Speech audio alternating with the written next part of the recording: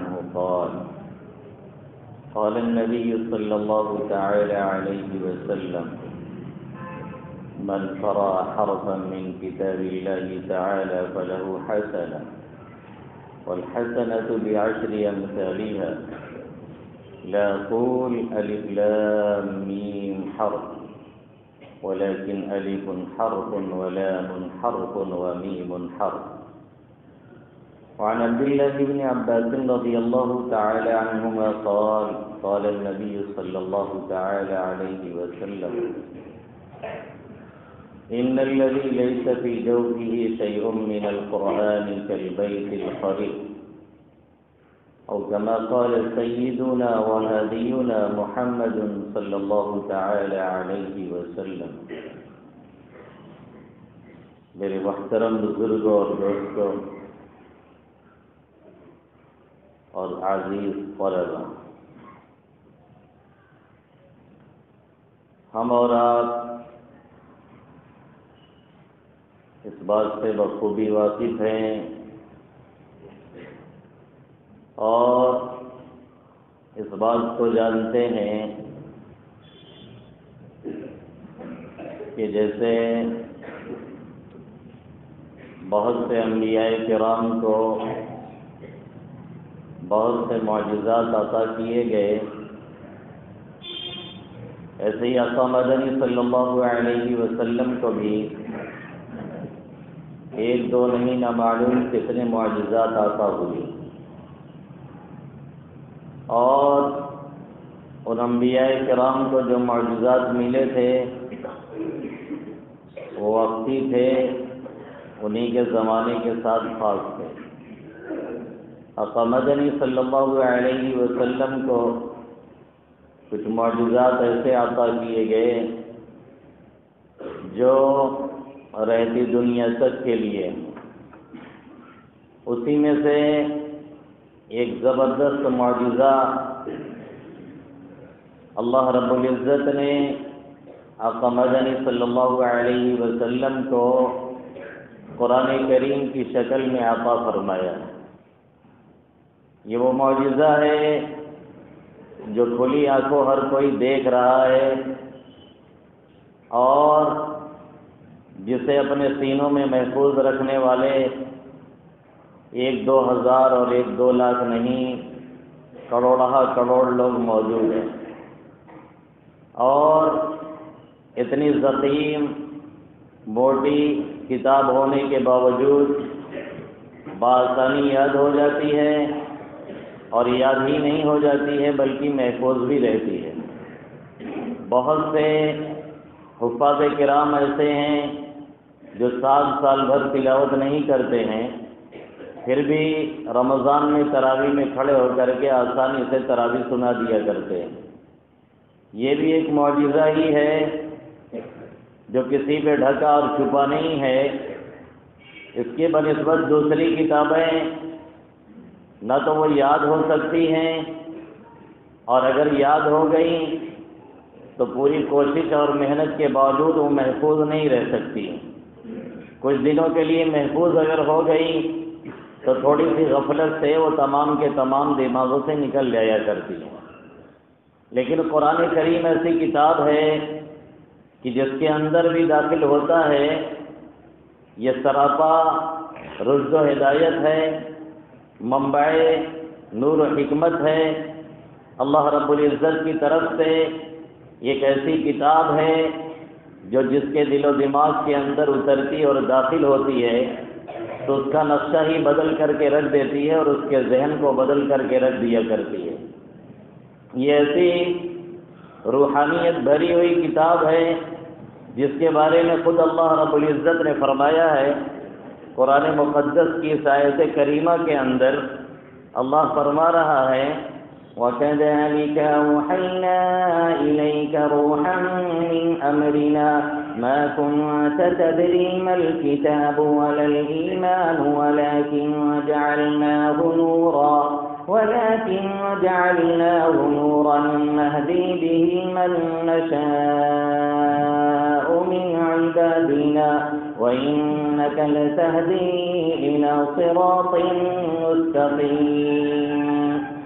अल्लाह रब्ज़त फरमा रहे हैं ये कुरान करीम, ये सरचश्म हयात है। कुरान करीम एक ज़िंदगी का सामान है। अमरीना। हमने आपके पास वही भेजी, अपनी तरफ़ से एक रूहानियत वाली चीज़ थी यानी कुरान मुक़द्दस को आप पर नाजिल किया। किताब को हमने आप पर नाजिल किया। ये कुरान मुक़दस एक सरचश्म हयात है, जिसके अंदर दाखिल होता है, उसे ज़िंदगी बख्श देता है, उसके अंदर जला और नूर पैदा कर देता है, उसके दिलो दिमाग को खोल देता है, उसके अंदर एक इम्बसात और इंशरा पैदा कर देता है।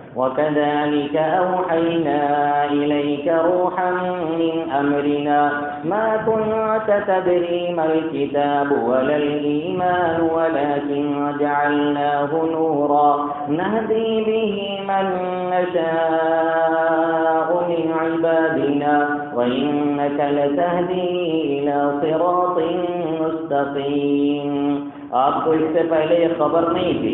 आपको इससे पहले ये पता नहीं था कि किताब क्या चीज़ होती है। ईमान क्या होता है? हमने इसे नूर बना करके आपके पास भेजा और उतारा और इसके ज़रिए से हम जिसे चाहते हैं हिदायत आता करते हैं और आप इसी के वास्ते से दूसरे लोगों को सही तौर पर रहनुमाई करते हैं। अल्लाह रब्बुल इज़्ज़त ने इस आयत करीमा के अंदर, कुरान करीम की जो सिफत बयान की कि वो एक रूह की चीज़ है और रूहानियत की चीज़ है और दूसरी सिफत, उसके इल्मी हैसियत को अल्लाह रब्बुल इज़्ज़त ने बयान किया और हम और आप जानते हैं कि हमारी इस बॉडी के अंदर, हमारे इस जिसम के अंदर, हमारे इस पाँच फुट और छः फुट और सात फुट की बॉडी के अंदर बॉडी लैंग्वेज किसी की कितनी बेहतर हो, बॉडी लैंग्वेज किसी की कितनी अच्छी हो, सेहत किसी की ही बेहतर हो, लेकिन सारा दारो मदार रूह के ऊपर है। जब तक हमारी और आपकी रूह बरकरार है, तब तक हम बरकरार हैं, हमारा जिसम बरकरार है, हमारी सेहत बरकरार है, हमारा दिलो दिमाग बरकरार है। लेकिन अगर किसी की रूह निकल जाती है, वो लाशे बेजान हो जाता है, फिर वो सड़ाहीन का शिकार होता है, फिर वो गलना शुरू हो जाता है, फिर वो सड़ना शुरू हो जाता है, फिर वो ताकुन और सराहीन का शिकार होना शुरू शुरू हो जाता है, कोई उसे अपने पास नहीं रख सकता है, कोई उसे अपने घर में नहीं रख सकता है, कोई उसे अपने कुंभा कबीला के दरमियान नहीं रख सकता है, अब उसे जेर ज़मीन ही पहुंचाना है, तभी सबको सुकून मिलेगा, तभी सबको राहत मिलेगी, तभी सबको चैन और सुकून आता होगा, यही हाल कुरान मुक़द्दस का है, यही हाल कुरान मुक़द्दस का अल्लाह रबुल्ज़त ने इस आयत करीमा के अंदर बयान किया है कि ये कुरान मुक़द्दस एक सरापार रूह है और जिसके अंदर ये दाखिल होता है, उसके अंदर एक इनकलाब बर्पा कर देता है, उसके दिलो दिमाग को चेंज कर देता है, उसकी जहनीत को बदल डालता है, उसके अंदर एक इंशरा और एक नूर और एक रूहानियत पैदा कर दिया करता है। वो शख्स जिंदों में रहता है, लेकिन सब जिंदों से अलग होता है। वो शख्स आम इंसानों में रहता है, लेकिन आम इंसानों से उसकी हैसियत अलग होती है। वो शख्स तमाम लोगों के दरमियान होता है लेकिन तमाम लोगों के दरमियान से उसकी हैसियत बिल्कुल मुख्तलिफ़ हुआ करती है, क्योंकि यही कुरान मुक़दस था जब सहाब कराम रिजवान अजमाइन के अंदर ये सरायत कर गया और ये रूहान रूह रूह बन करके उनके अंदर दाखिल हुआ। तो जिनको पहले जहला अरब कहा जाता था, अब उनको सहाब कराम रिजवान अजमाइन कहा कहा जाने लगा।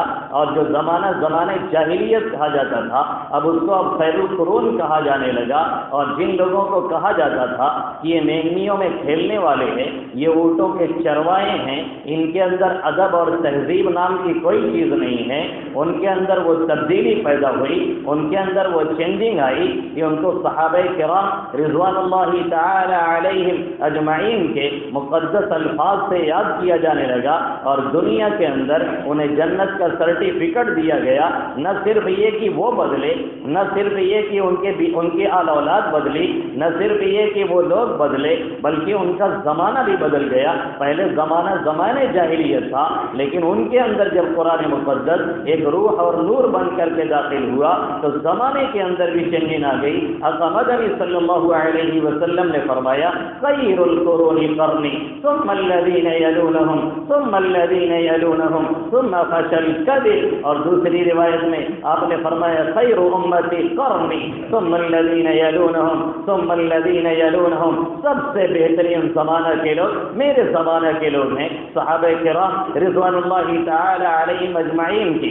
मुकद्दस हस्तियाँ हैं और ये नफूस कुदसियाँ हैं जिनके अंदर कुरान ये रूह बन करके दाखिल हुआ तो जो अभी तक मुर्दा जैसे पड़े हुए थे और जो करवट नहीं ले सकते थे और जिनके अंदर ये सलाहियत नहीं थी कि वो किसी दूसरे को बदल सकें क्योंकि उन्होंने अपने को नहीं बदला था लेकिन जब कुरान मुकदस के ज़रिए से उनके अंदर तब्दीली पैदा हुई और चेंजिंग आई तो फिर उन्होंने कैसर किसरा को बदल दिया और उस वक्त की सुपर पावर पावर ताकतों को भी ला करके हासिल खुदाई कर दिया और अल्लाह रब्बुल इज़्ज़त के सामने झुकने पर मजबूर कर दिया और उनसे जो जंगें की गई और उनसे जो मोड़ा लिया गया, उस वक्त की जो सुपर पावर ताकतें थी, कैसर कैसर और किसरा, जैसे आज की सुपर पावर ताकतों में से अमेरिका का शुमार होता है, या इसी तरीके से रूस रूस का शुमार होता है। रूस जिसके साठ टुकड़े हुए और फिर उसका किस्सा खत्म हो गया था और किस्से पारीना बन गया था, फिर से वो भरने की कोशिश कर रहा है और अमेरिका जिसके इंशाला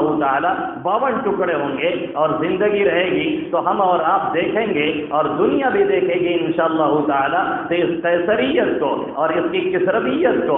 साहब कराम रिजवान ने तहस नहस करके रख दिया और इसलिए नहीं तहस नहस किया था कि उनकी हुकूमत को हासिल करना था, इकतदार को हासिल करना था, कुर्सी पे बराजमान होना था, अपनी शहनशाहियत का दबदबा और वलवला मचाना था, बल्कि इसलिए कब्जा जमाया था कि वहाँ फ़र्ज़ खुदाओं की इबादत की जाती थी। कुछ लोग अपने को मबूद कहते थे और कुछ लोग ज़बरदस्ती लोगों से अपने को खुदा कहलवाते थे और कुछ लोग कहते और कहलवाते तो नहीं थे, लेकिन अपने सामने वो काम करवाते थे जो सिर्फ़ खुदा के लिए खास था, यानी सज्जा रेज होना पड़ता था, लोगों को उनके सामने आकर के तो साहब कराम रिजवान ने वो तब्दीली पैदा की। वहाँ पर घुस करके सर्जिकल स्ट्राइक हमारे साहब कराम ने की, खुद करके की, और नतीजा ये निकला कि कैसर और किसरा दोनों को दोनों पास पास हो गए, और जो आदल मसावत नहीं थी, वहाँ मसावत कायम हुई, वहाँ आदल कायम हुआ, वहाँ इंसाफ कायम हुआ, हर छोटे बड़े को उसका दर्जा नसीब हुआ। फर्जी खुदाओं के सामने जो लोग झुकते थे और जो सज्जा रेज होते थे और नामालूम कितने खुदाओं के सामने जिन्हें झुकना पड़ता था और जहाँ की आवाम की सूरत हाल ये बनी हुई थी, जैसे हमारे हिंदुस्तान और पाकिस्तान और बांग्लादेश और दूसरे मुल्कों की आवाम की सूरत हाल है कि हम लोग एक चरवाहे और हरवाहे की तरह से होते हैं और अपनी पूरी कमाई के ज़रिए से कमा कमा करके इन बादशाहों को, फर्जी खुदाओं को ऐसे इशरत मुहैया कराते हैं और हमारी ही गाढ़ी कमाई के ज़रिए से ये फर्जी खुदा बन करके न मालूम कितने ऐशो इशरत के सामान इकट्ठा करते हैं और हम और आप एक चरवाहे और हरवाहे की तरह से ज़िंदगी गुजार रहे होते हैं। यही सूरत हाल उनकी भी थी। साहब कराम ने सब चीज़ों को तब्दील कर दिया और जा करके उनके अंदर ये बताया कि आप इबादुल इबाद नहीं हो, आप बंदों के गुलाम नहीं हो, आप इनके गुलाम नहीं हो। ये तुम्हारे हकीकी आका नहीं है और तुम इनके आबिद नहीं हो, तुम इनके पुजारी नहीं हो, बल्कि अल्लाह रब्बुल इज़्ज़त ने तुम्हें पैदा किया है। वही खालिक है, वही मालिक है, वही राजिक है, वही खल्लाक है, वही हल्लाल मुश्किलात है, वही परेशानियों को दूर करने वाला है, वही आसानियों को और बेहतरियों को लाने वाला है और वही परेशानियों और मसाइब को दूर करने वाला है। दाफे बलिया सिर्फ़ और सिर्फ़ उसी की ज़ात है। नतीजा ये निकला कि हर जगह अदल कायम हुआ, इंसाफ कायम हुआ, लोगों के अंदर तब्दीली पैदा हुई और लोगों की जहनीत तब्दील हुई और इस कुरान का असर सिर्फ़ यही नहीं होता कि हम बदल जाते हैं।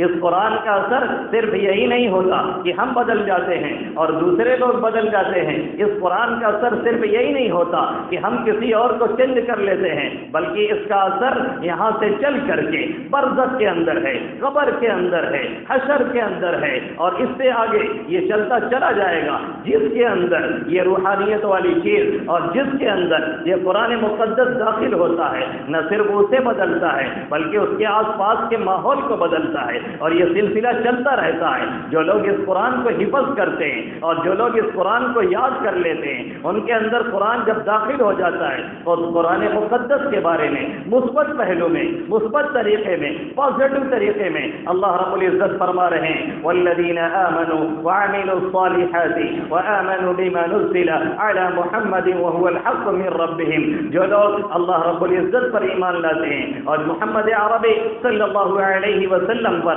जो कुरान मुकद्दस नाजिल किया गया, इस पर ईमान लाते हैं। और ये सरापा सच है, ये सरापा हक है, इसमें कोई चीज़ गलत नहीं है।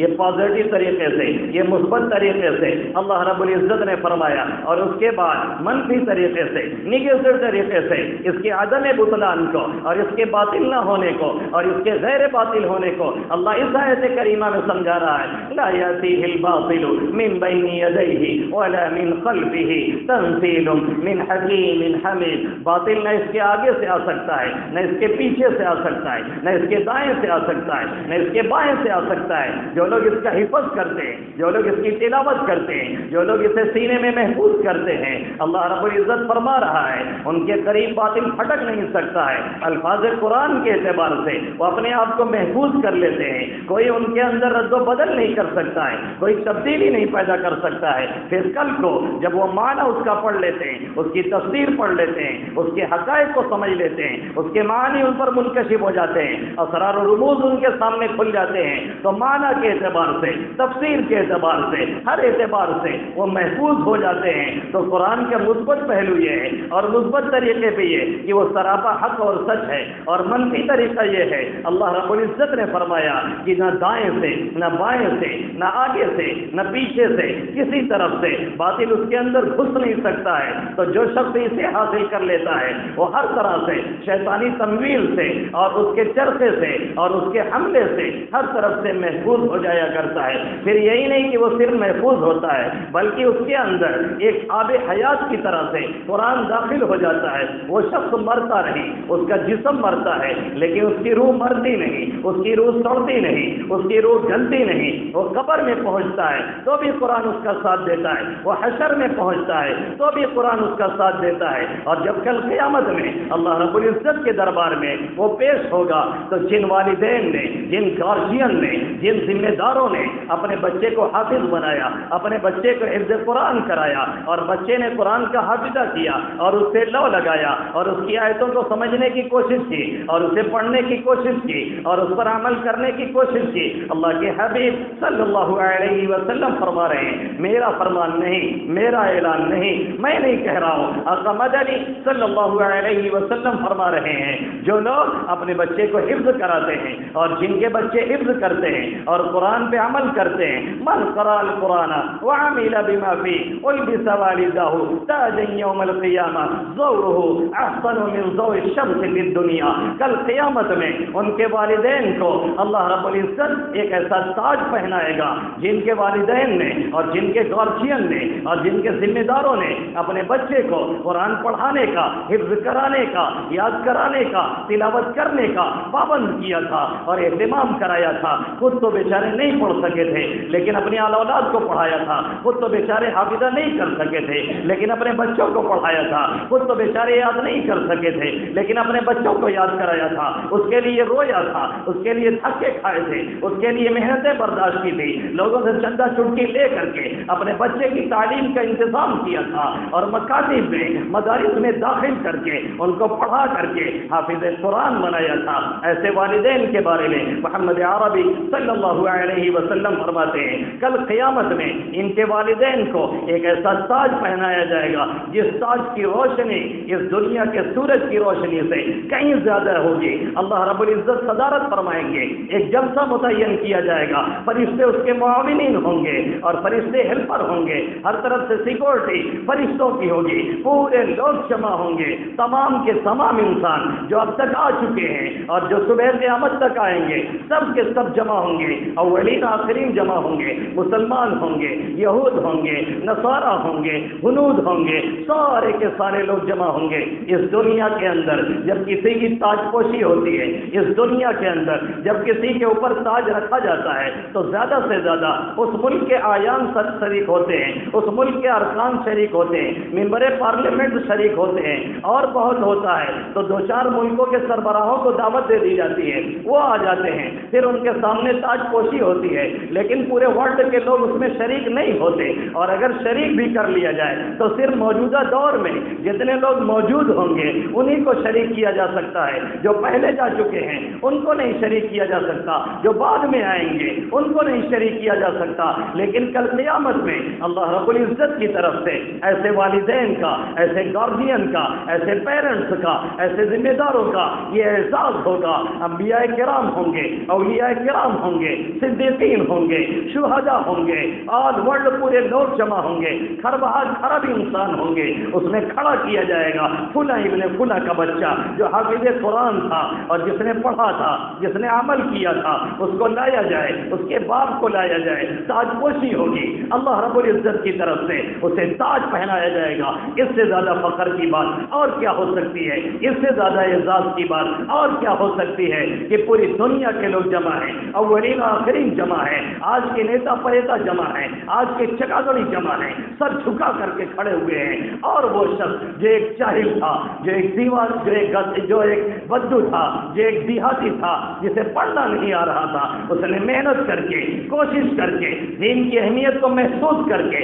अपने बच्चे को हाफिज कुरान बनाया। था। अल्लाह ने उसका सिला ये दिया कि उसे पूरे मजमे के अंदर खड़ा करके पुकारा। जब किसी बच्चे के हाफिज होने की बात होती है और उसका तस्करा होता है तो पहले नंबर पे कहते हैं, फुला का ये बेटा है जिसने हाफिजा मुकम्मल किया है। आज उसको एजाज से नवाजा नवाजा जा रहा है। कल क्यामत में ऐसे ही उसको भी नवाजा जाएगा। अकमद अली सल्लल्लाहु अलैहि ने फरमाया फिर उस शख्स के बारे में, आपका क्या ख्याल है? उस हाफिज के बारे में आपका क्या ख्याल है? उस आलिम बामल के बारे में आपका क्या ख्याल है? जिसने खुद कुरान पे अमल किया, उसका क्या रुतबा होगा? उसका क्या मकाम होगा? उसका क्या मरतबा होगा? उसको कैसा ताज मिलेगा? जिसकी बरकत से वालदे का ऐसा ताज मिल रहा है, जो पूरी दुनिया के सूरज से ज़्यादा तेज रोशनी वाला है। तो फिर जिसने खुद हिफ्ज किया है और उस पर अमल किया है, रात के अवकात में उसे पढ़ा है तरावी में उसे सुनाया है, सुबह शाम उसकी तिलावत की है उसे भूला नहीं है। अपने सीनों में महफूज रखा है। उसका क्या हशर होगा और उसका क्या आलम होगा? अल्लाह के हबीब सल्लल्लाहु अलैहि वसल्लम ने फरमाया, सोच सकते हो, बयान से बाहर है। ऐसे हाफिजों का, ऐसे आलिम बामल का क्या आलम होगा? उस वक्त देखने का मंजर होगा। आज जो लोग कूदते हैं वो फर्जी खुदाओं को लेकर के, आज जो लोग कूदते हैं, नेता और परेता को लेकर के, आज जो लोग कूदते हैं, फर्जीवाड़ा और फर्जी खुदाओं को लेकर के, कोई इनके पीछे, कोई उनके पीछे कोई इस विधायक के कोई इस मंत्री के। आज के वो विधायक और वो खुदा कल को जेल में नज़र आते हैं। लेकिन आज इस कुरान की हिफाजत करने वाला उस पर अमल करने वाला, उसे पढ़ने वाला, उसे याद करने वाला, उसे याद कराने वाला, कल क्यामत में ऐसा सुरखरू होगा कि दुनिया देखेगी और आशस करेगी। लेकिन उस वक्त आपका बेअफसोस मलने के अलावा हमारे और आपके लिए कोई चारे कार नहीं होगा। जिस जिन लोगों ने इसकी तरफ़ कोई तवज्जो नहीं की और और सिर्फ़ यही नहीं सिर्फ़ यही नहीं कि उनको ये मौका फराहम किया जाएगा, बल्कि ये सिलसिला आगे बढ़ता रहेगा। और कारी कुरान से हाफिज कुरान से कहा जाएगा, इकरा वर्का वरतिल कमा कुंत तुरतिल फिर दुनिया। अरे पढ़ता जा चढ़ता जा, बढ़ता जा, आगे चढ़ता जा, आखिरी आयत जहाँ खत्म होगी, वहीं आखिरत तेरा महल होगा, आखिरत तेरा वर्ल्ड ट्रेड सेंटर वहीं तैयार किया जाएगा। और तुम्हें सबसे आखिरी मंजिल, आखिरी आयत पे पहुँच करके मिलेगी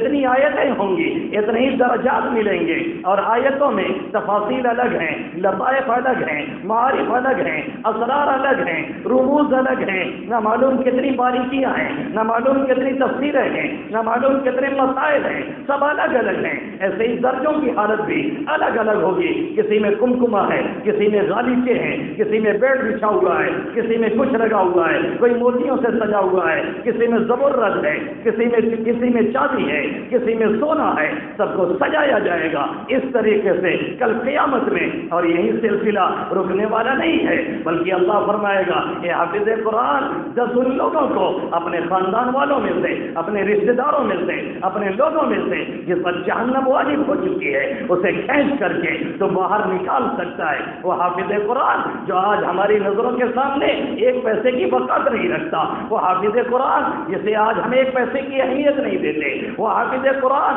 जिसे आज हम गिरी हुई निगाहों से देखते हैं वो हाफिज कुरान, जब कुरान लेकर के बैठता है तो हम और आप कहते हैं, दुनिया कहाँ पहुँच गई? आप कुरान लेकर के बैठे हुए हैं, उस हाफिज कुरान को, कल वो बताएगा, हम कहाँ पहुँचे थे? हम कहाँ खड़े थे? और आप कहाँ पहुँचे थे? और आप कहाँ खड़े थे? वो हाफिज कुरान दस लोगों को खींच करके, ले करके आएगा। इसीलिए अल्लाह के हबीब सल्लल्लाहु अलैहि वसल्लम ने फरमाया इन अल्लाह ला क़ल्बन हुवा बिवाउल कुरानी। अल्लाह ऐसे दिल को कभी सजा नहीं दे सकता, कभी अजाब नहीं दे सकता, जो कुरान का सर्फ हो, जिसने कुरान को याद कर लिया हो, जिसके दिल को अजाब नहीं मिलेगा, जिसके दिल को आग नहीं छुएगी, जिसके दिल को जहन्नम की आग टच नहीं करेगी तो क्या उसके जिसम को जलाएगी? क्या उसके दिल दिमाग को जलाएगी? क्या उसके आजा को जलाएगी? ज़ाहिर है वो महफूज रहेगा, और उसकी बरकत से दूसरे लोग भी महफूज रहेंगे, और यही नहीं, बल्कि अल्लाह के हबीब वसल्लम ने तो यहाँ तक फरमा दिया कि जिसके सीने में कुरान की कोई आयत नहीं, कुरान का कोई लफ्ज नहीं है, वो एक वीरान घर की तरह से है। ले लो ताबीर, ले लो खीले ले लो खूटिया, ले जा करके घरों में गाड़ो। जब तक तिलावत नहीं हो रही है, जब तक नमाज़ नहीं पढ़ी जा रही है, जब तक बच्चे को हाफिज कुरान नहीं बनाया जा रहा है, और जब तक बच्चों को इस लाइन पे नहीं लगाया जा रहा है, खुदा की कसम, हाफिज जमालुद्दीन साहब नहीं, मुफ्ती हबीबुल्ला साहब नहीं कोई और अमीर लेकर के जाओ और खीरा खोटी नहीं, उनको ले जा करके गाँव दो। फिर भी घर के हालात संवरने वाले नहीं है, सुधरने वाले नहीं है। इसलिए कि हमने कुरान से बगावत की है। इसलिए कि हमने अकमदनी सल्लल्लाहु अलैहि के फरमान से बगावत की है। इसलिए कि सबसे बड़े इबलीस हम हैं और इबलीस के चाचा हम हैं, जिन्होंने इससे बगावत की और बगावत यहाँ तक पहुँची कि कुरान पढ़ने वाले को हमने हकारत की निगाह से देखना शुरू किया। जब कि आपका मदनी सल्लल्लाहु अलैहि वसल्लम ने फरमाया था, मन तअल्लम कुरान मन अल्लम कुरान और तअल्लमहु जिसने कुरान को सीखा या सिखाया, जिसने कुरान को पढ़ा या पढ़ाया, वो सबसे बेहतर इंसान है। हमारा एहतिकाद क्या है? आपका एहतिकाद क्या है? इनका एहतिकाद क्या है? इनका एहतिकाद क्या है? कुछ पढ़ने वाले ये नहीं समझते कि हम सबसे बेहतर हैं तो दूसरा दूसरा कौन समझेगा? इसलिए समझा जाए कि हमारे पास एक बहुत बड़ी दौलत है, जिसकी हिफाजत हमारा फरीजा है और हमारी ज़िम्मेदारी है। आज नहीं समझ में आ रहा है। जो लोग चले गए हैं कब्रों में, जो वहाँ पड़े हुए हैं, उनसे पूछिए इस कुरान की अजमत के बारे में। उनसे पूछिए इसके तकदस के बारे में। उनसे पूछिए इसकी आयतों के बारे में। उनसे पूछिए इसके बिस्मिल्लाह के बारे में क्या हमने वो वाक्य नहीं सुना। तफसीर कबीर में इमाम राज़ी अली रहमान ने लिखा है कि हज़रत ईसा अला नबीना अलैहिस्सलाम एक मरतबा जा रहे थे, एक कबर के पास से गुजर हुआ। आपको महसूस हुआ, कबर वाले को अजाब हो रहा है। यहाँ तारीखी दर तारीखी है, अजाब की तारीखियाँ हैं। आप परेशानी में गुजर गए और जब वापस आए, उसी कबर के पास से फिर आपका गुजर हुआ। तो देखा कि वहाँ नूर ही नूर है और वहाँ रहमत के फरिश्ते हैं। अजाब उससे हट गया है। अल्लाह की तरफ़ मुतवजे हुए और फरमाया, बारे रहा ये क्या हो गया? अभी मैं गया था तो इसको अजाब हो रहा था। अब मैं लौटा हूँ। तो रहमत के फरिश्ते घेरे हुए हुए हैं। और ये शख्स तारीखियों से निकल चुका है और रहमत के फरिश्ते इसके यहाँ डेरा डाले हुए हैं। अल्लाह रब्बुल इज़्ज़त की तरफ़ से वही आई। क्या वही आई मेरे प्यारो? कान खोल करके सुनो। अल्लाह रब्बुल इज़्ज़त की तरफ़ से वही आई। और अल्लाह ने फरमाया ऐसा ये बंदा जब मर रहा था तो इसकी बीवी उम्मीद से थी और इसकी बीवी हमल से थी। फिर इसका बच्चा जब पैदा हुआ, आज थोड़ा सा वो बड़ा हो गया है और पढ़ने के लिए इसकी माँ ने उसे मकतब में भेजा है। आज बचपन बच्चा जा करके उस्ताद के सामने पढ़ रहा है। उस्ताद उसे, बिस्मिल्लाह बिस्मिल्लाह रटा रहा है। आज वो मेरा नाम ले रहा है। मुझे इस बात से शर्म महसूस हुई कि ज़मीन के ऊपर इसका बच्चा मेरा नाम ले रहा हो और ज़मीन के अंदर मैं इसे सजा दूँ, मैं इसे अजाब दूँ। मैंने इस बच्चे की बरकत से अजाब कबर को उठा लिया है। कसम खुदा की कहता हूँ खा करके। आज नहीं समझ में आ रहा है, लेकिन आँखें बंद ही सब कुछ खुल जाएगा, लेकिन खुलने का कोई फ़ायदा नहीं मिलेगा। और वो हसीरा माफिल कबूर हसीरा माफिल सुदूर जो कुछ सीनों में है आश्कारा कर दिया जाएगा कब्रें फटेंगी और खुलेंगी और लोग बैठ और लोग उड़ते हुए दौड़ेंगे लेकिन कोई नतीजा उस वक्त निकलने वाला नहीं आज वक्त है आज सलाहियत है आज मौका है आज ताकत है आज कुवत है आज पैसे हैं आज असबाब है आज जागीरें हैं आज सारे वसाइल हैं हमारे और आपके पास हम और आप हिस्सा ले सकते हैं जुमा के बाद दारुल तहफीज की बुनियाद रखी जाएगी। थर्ड ग्राउंड में, तीसरे हाथे में, जो लोग भी शिरकत कर सकते हो, सुन्नत और नवाफिल से फारिग होकर के वहाँ पे पहुँचे। दामे, दिरमे, कदमे सुखने दुआ के ज़रिए से अपने बच्चों को भेज करके, दारुल तहफीज में पढ़ा करके अपने लिए दुनिया और आखिरत की सुरखरुई का सामान पैदा करें। और अगर नहीं किया तो कल क्यामत में कोई उजर चलेगा नहीं। और कब्र में जाने के बाद फिर यही हाफिज, फिर यही मौलवी, फिर यही कलमा को सबको याद आएँगे। लेकिन उस वक्त याद करने का कोई नतीजा नहीं। यो मेरी करो इंसान वो अल्लाह जिक्रा। अब नसीहत का टाइम निकल हो निकल चुका होता है। आज मौका है, इसलिए जितने लोग भी शिरकत कर सकते हैं, शिरकत करें। और जो कुछ भी ताउन ऐसे नेक जगहों में कर सकते हैं, बजट के बारे में आपको मालूम होगा। और कितना बनना है, क्या बनना है, आपको भी मालूम होगा। मुझे उसके बारे में कुछ नहीं कहना है। अल्हम्दुलिल्लाह, हमारी कौम बहुत चंदा देती है देती रहेगी इन ताला। और लोग इसमें हिस्सा लेते रहेंगे। अल्लाह हम सबको इस काम में बढ़ चढ़ के हिस्सा लेने की तोफीक नसीब फरमाए और अपने बच्चों को हाफिज कुरान बनाने की हमें भी तोफीक नसीब फरमाए और इस कुरान से हमें खसूसी शरफ और खसूसी शगफ नसीब फरमाए। कितने लोगों की मफफरत कल क़्यामत में सिर्फ़ इसलिए हो जाएगी और कितने लोगों के मरने के बाद लोगों ने काम में देखा कि जब वो मर गए हैं, मरने के बाद लोगों ने पूछा, आपका हशर क्या हुआ? कहने लगे, मैं जाहिल था पढ़ा लिखा नहीं था, कुरान पढ़ना चाहता था, कोई पढ़ाने वाला नहीं मिल रहा था, मेरे यहाँ कोई मकतब नहीं था, मेरे यहाँ कोई मदरसा नहीं था, मेरे यहाँ कोई हाफिज नहीं था, मेरे यहाँ कोई मौलवी नहीं था, जो कुरान मुझे पढ़ा देता, इसलिए मैं कुरान वज़ू करके लेकर के बैठ जाता था और रोता था और कहता था, मेरे अल्लाह, मैं पढ़ नहीं सका, कोई पढ़ाने वाला मिल नहीं सका, लेकिन मैं ये मानता हूँ, जो आयतें हैं सबके सब सच हैं सबके सब हक हैं, ये भी सही है। वो भी सही है। जब इंतकाल हुआ खाब में देखने वालों ने देखा और पूछा, क्या हशर हुआ? कहा, अल्लाह ने मफिरत फरमा ली कहा, किस लिए? कहा, अल्लाह को यही अदा पसंद आ गई कि अल्लाह ने फरमाया कि तुझे कुछ नहीं आता था, लेकिन फिर भी तू एहतराम करता था। जब मैंने कुरान के एहतराम की बरकत से तुझे माफ़ कर दिया। अगर एक आयत आ रही है, उसी को दोहरा दोहरा के पढ़िए। एक सूरत आ रही है, उसी को नचा नचा के दिन में पढ़िए। इन ताला, उसकी बरकत से आखिरत भी संवरेगी। दुनिया भी संवरेगी। अल्लाह इन चंद बातों पर हमें भी अमल करने की तोफीक नसीब फरमाए और आप सभी हजरात को आमीन या रबीन वमा मुबीन।